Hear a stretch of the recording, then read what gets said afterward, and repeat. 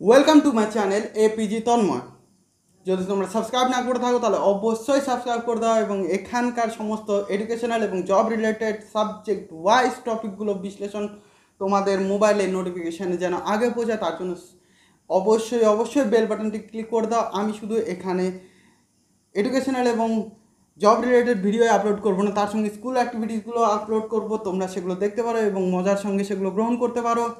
তো চলো, কথা না বাড়িয়ে শুরু করা যাক। আজকের টপিক আজকে আমরা করব সম্পাদ্য, বৃত্তের স্পর্শক অঙ্কন, অধ্যায় নাম্বার সতেরো।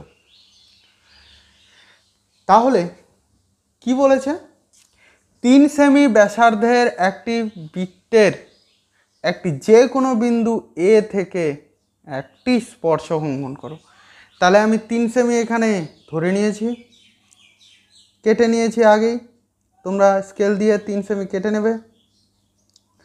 তিন সেমি মাপটাকে নিয়ে আমি বসালাম, বসিয়ে একটা বৃত্ত অঙ্কন করলাম।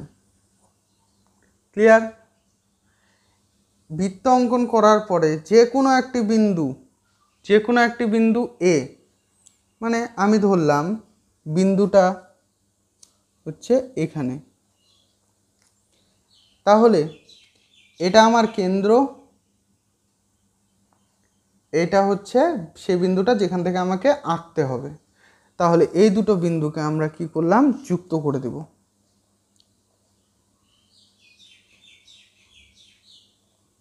কেন্দ্র এবং বিন্দুটিকে আমরা যুক্ত করে দিলাম। যুক্ত করে দেওয়ার পর এই বিন্দুটা থেকে একটা নব্বই ডিগ্রি কোণ আঁকাবো। কীভাবে? তোমরা জানো, আগে থেকেই, তবুও দেখে নাও একবার। একটা বৃত্তচাপ টানলাম। ছেদ বিন্দুটা থেকে মাপটা বাড়াবও না, কমাবও না, সেই একই মাপ রেখে টানলাম।